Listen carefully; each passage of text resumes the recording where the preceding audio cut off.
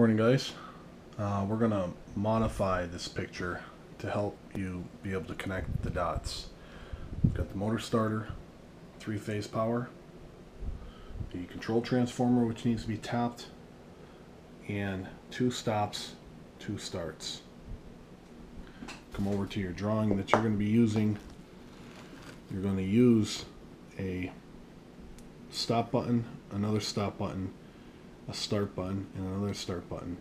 You're going to draw them as their real symbols though. You're not going to put these other contacts underneath. So your drawing is going to look like this without the other circles underneath. So the drawing that we're going to be using to copy from is we're going to transfer this ladder logic onto this. And this is how we're going to do it. So first thing we're going to do is we're going to take our three-phase feed and we're going to feed the transformer. So we're going to tap two legs. Now that's fed. And we're going to come over here. This is the contactor for the motor starter. This needs three-phase power.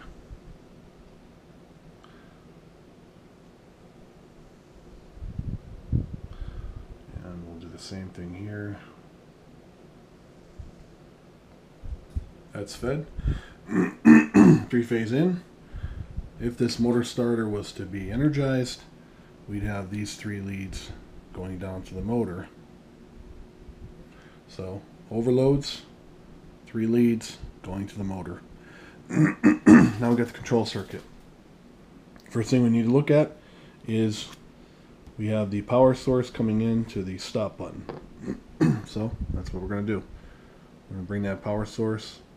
I'm going to jog around this way. We're going to come in to the first screw. That took care of this. Now I'm going to jump between these stop buttons that are in series. That's that. We'll cross that off. Then we're going to come off that second screw of the stop button. We're going to hit first screw start, first screw start, and then get to the open contact. So if we look around here, this is the second screw, and we're going to jump around. First screw of the start button, that's that one. We got to come off that same button, hit the first screw of the next one, which we can just jump down like this. Now those are wired in parallel. Now we have to come off that same screw or this point to get over to our open contact. So what I'm going to do is I'm going to come around. Now I'm using one of these open contacts. These are my auxiliary contacts. I'm using this open contact to provide my holding circuit. So we got rid of that wire and we got rid of that wire. So right now we've got all three lines connected. We have to jump off the other side of the open contact and come back around to these buttons, which are the second screws to the starts before we go back to the coil. so we're going to come back around here. We hit that screw. We're going to come back around here and hit that screw. Now, what we did is we just came back around. We hit this screw. We hit this screw. Now we have to get back to the coil. There's a couple ways we can do that. We have one wire here. We've got two wires here. We've got one wire here. So it just makes more sense to just hit the coil like that. So I took care of this wire. Now we got to come off the other side of this coil and hit the overload. You might remember the NEMA mag starter actually had a wire from the factory that already came off to the overload. Here's our overload, normally close contact. Now what I'm going to do is I'm going to go home in neutral from my overload back to my source. We're going to draw this around. That's that. So now that control circuit is done. The only thing that's left to do is finish the lab. I believe I said I wanted a green light to come on and a red light uh, to go off when this is energized. And we know these contacts will change state once the coil is energized.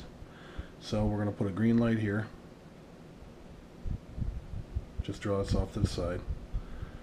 We'll put a red light here. Draw this off to the side. Because a lot oftentimes we have indication when something is on or off. We need a feed. We need an unswitched feed to feed each of these contacts. We need that 120 volts to be sitting at that contact waiting. So the best place to tap this, I don't like necessarily relying on the button to give me that power source. Although we could, there are people that would do this. This is closed, this is closed. We could tap off of here. I'm not going to though. I'm going to come straight from the source. And uh, you know what? I'm going to draw this as green. We're going to come right off the source.